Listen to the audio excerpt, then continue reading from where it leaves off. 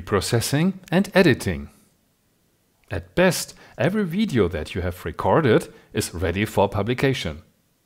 But at least if you work with a camcorder, some final steps are inevitable. Sometimes you can't fully remedy all visual and acoustic problems before or during recording, in particular not when recording outside of a studio. So both the picture as well as the sound may need some digital improvement. After that comes the real process of editing, that is, of finding and putting together the good pieces. It is important to do the cleanup before cutting. This way, the changes are consistent throughout the entire resulting video. And you work on stretches of footage that are as long as possible.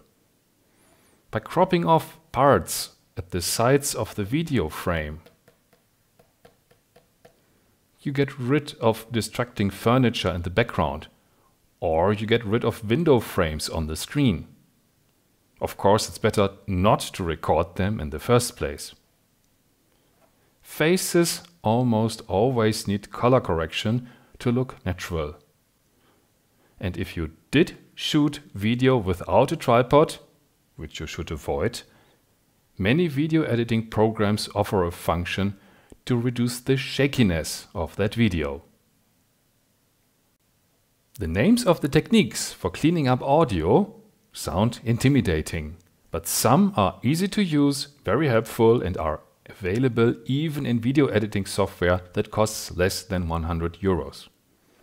Equalization, best in form of a parametric equalizer, can add more bite to muffled voices or reduce the boominess of a recording in a resonant room. If there is a constant noise, for instance power line humming or hissing from the air conditioning, this can be removed well by noise reduction.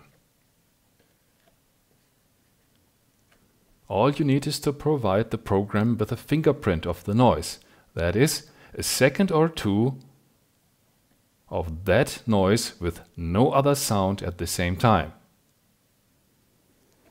Dynamics compression evens out the volume of louder and quieter passages. This is what you need, for instance, when a speaker has used a handheld microphone but has kept changing the distance between mouth and microphone.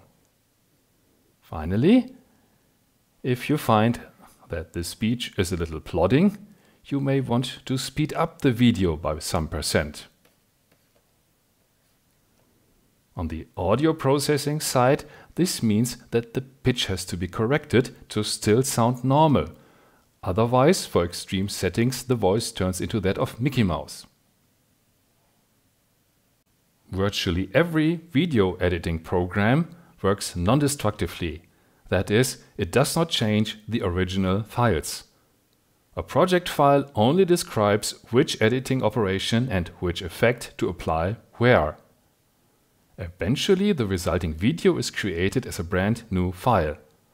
This is tricky in two respects. First, you have to make sure to not only back up the project files, but also all of the original video files as well.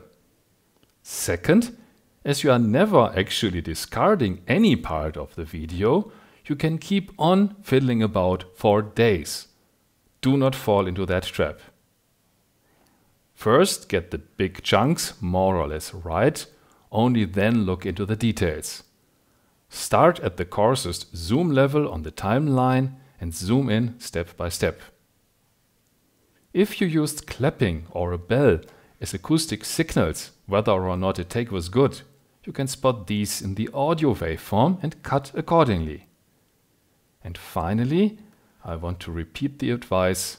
Start by roughing the edits out for the entire video. Only then look into the details.